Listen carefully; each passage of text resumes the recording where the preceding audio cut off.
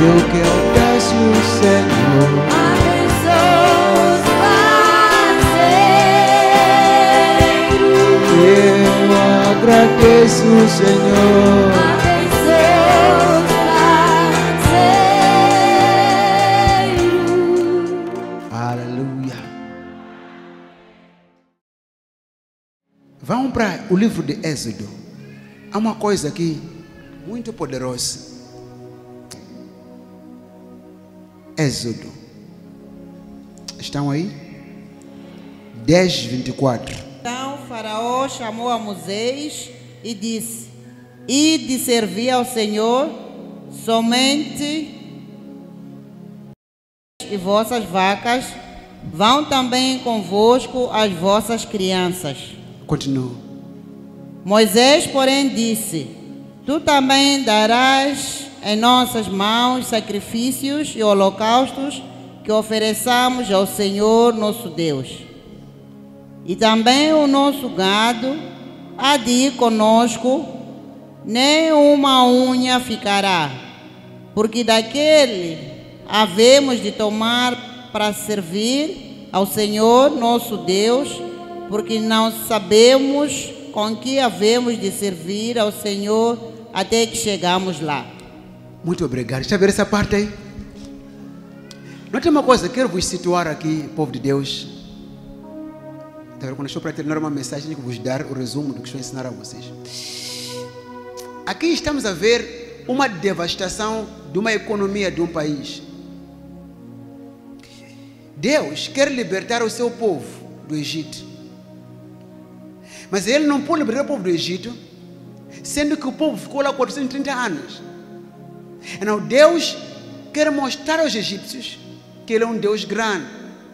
O que Deus fez? Ele enviou para Faraó dez pragas. Se vocês estudarem bem, vão compreender que cada uma daquelas pragas tinha uma direção de destruição de alguma coisa no Egito. Lembra que a primeira praga foi quando Deus enviou, quando Deus transformou a água do rio Nilo em sangue? O que aconteceu com aquela água quando transformou-se em sangue? Os peixes no rio Nilo fizeram o quê? Morreram. Logo, a economia marítima morreu. O Egito ficou algum tempo sem peixe. Houve um que sobreviveu, mas a maior parte do peixe morreu. Logo, não havia a economia marítima ou marinha. Fez o quê? Entrou em extinção. Estão a perceber? E depois Deus mandou também uma maldição de piolhos. E os piolhos só foram atingir os egípcios e não atingiram o povo de Israel. Piolhos simbolizam espíritos perturbadores. São demônios de tormento que vêm para só perturbar você. Não ficar feliz. Sempre há alguma coisa que te perturba. Você não consegue ficar feliz nem alegre. Mesmo tendo o que você queria, você continua sempre triste e frustrado. Nunca vimos pessoas que já que, que alcançaram os seus sonhos. Mas mesmo chegado ao seu sonho, continuam frustrados. São demônios de piolhos. E Deus também mandou uma outra praga de moscas. As moscas picaram os egípcios, mas não picavam o povo de Deus. Demônios venenosos. Demônios venenosos. E Deus também mandou para lá a maldição da morte dos animais, praga dos animais. E muitos os animais dos egípcios morreram. A economia animal caiu em crise. Só que a mesma crise não afetava os judeus. Os animais dos judeus ficavam vivos, dos egípcios mortos. O que nós vemos aí? Um paralelismo, uma divisão. No mesmo lugar, os egípcios, os, os, os, as, as, pragas, aquela praga de, de morte de animais, vai nesse bairro e mata as ovelhas e cabritos dos egípcios e seleciona o que é dos judeus. A praga foi tão inteligente que leu onde matar ou não matar. Há um paralelismo aqui. E depois, Deus mandou praga também de gafanhotos. Mas antes de gafanhotos, ele mandou saraiva. Sabe o que é saraiva? Granizo, pedra de gelo. A pedra de gelo caiu e destruiu coisas na machamba. a economia agrícola caiu em crise. O que restou das folhas da machamba, estou, estou, estou a vos preparar, acompanhe-me atentamente. Das folhas que restaram na machamba, lembra? Já não há mais animais morreram, já não há mais peixe morreu. Agora o que ficou na machamba? O granizo, a saraiva destruiu. O que ficou? Deus mandou gafanhotos para roer e comer o que tinha ficado. Já há nada na machamba, a economia agrícola entrou em crise. E depois Deus mandou sarna, sarna, chunguaiana. Hum, crise de doença, epidemia. A sarna, quando foi para o Egito, foi tão inteligente que chegou e leu: Você é judeu? Sim, ah, ah, tchau. Você é judeu? Tchau. Você é egípcio? Sim, eu. A sarna lia quem atacar e quem não atacar. Deus colocou separação entre o povo dele e os que não eram o povo dele.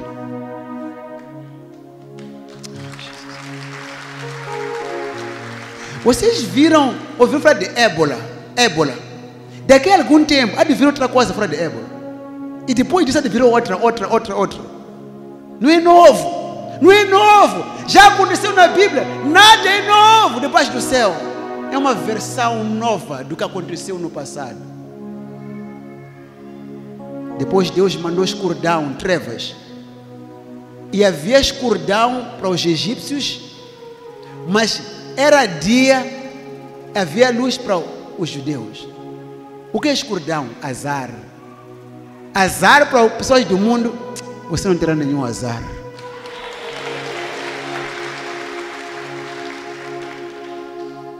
Deus mandou tanta maldição até que chegou a morte do primogênito, primeiro filho. Desde os animais aos seres humanos, dos egípcios. Agora,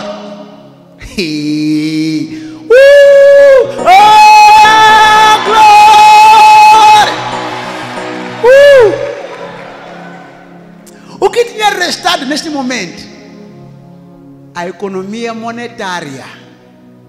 Ouro e prata. Naquela altura não havia dinheiro. É por isso que Pedro disse no, no, no Atos 3, versículo 6. Ouro, prata e ouro não tenho. Mas o que tenho, isto dou. O que, ok, o homem pedia esmola, dinheiro. E ele diz ouro e prata. O que é ouro e prata? Dinheiro. Economia monetária. É o que eles tinham. Estão, estão me pegando, estão, estão a ir comigo, estão, estão todos aqui, estão mesmo sintonizados. Hum. O que restou era apenas ouro e prata. Só que este povo está já há bastante tempo no Egito, 430 anos, eles são pobres. E Deus diz: Moisés, livra eles. E Faraó diz: certo, vocês podem ir com vossas crianças, mas descem vossos bois, cabritos, ovelhas comigo. Não é o que o diabo fez com muitas igrejas, com muitos, na igreja, mesmo aqui na igreja.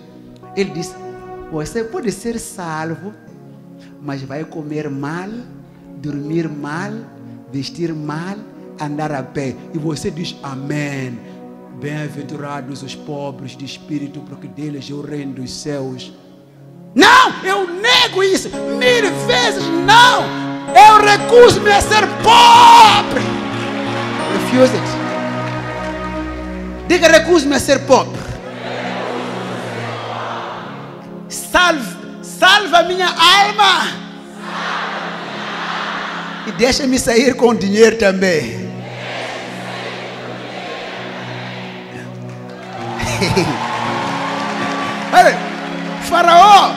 Faraó era muito esperto. Disse: vão vocês, mas deixe, deixe a, a economia aqui comigo. Ah, ah, nós fomos salvos, sim, mas queremos a economia nossa. Queremos a economia, queremos o gado. Moisés disse: não, nós sairemos daqui, nem unha vai ficar, nem moeda, tudo é nosso. Ah,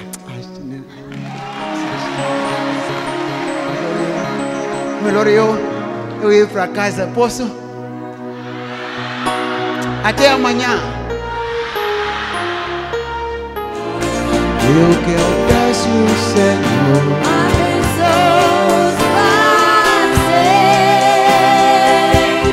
Eu agradeço, Senhor.